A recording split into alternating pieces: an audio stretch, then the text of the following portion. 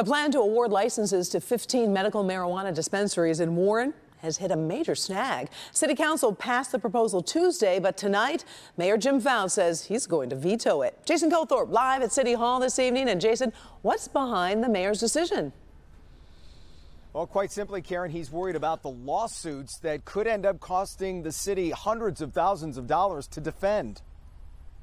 Tuesday's Warren City Council meeting was heated. This whole business has been a farce. Some council members and medical marijuana advocates upset over the city only awarding 15 dispensary licenses and the closed door process in which they were selected. You had uh, members who not only make the score but then vote on that score. For us to do this tonight is doing an injustice. Turns out it was much ado about nothing. I'm vetoing it. Mayor Jim Fouts is for medical marijuana and complimentary of the council in the licensing process. But his problem is the fallout from the dozens of applicants who were denied. The 15 who got it are happy, but the other 50 are not. And they're going to sue. Some have already sued.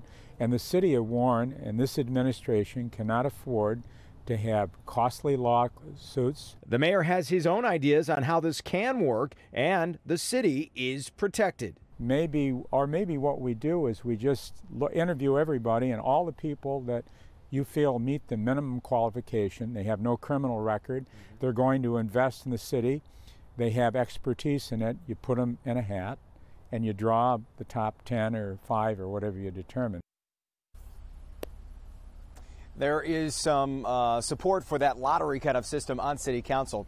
City Council, by the way, does have a chance to override the mayor's veto with five votes, and there's a decent shot that could happen.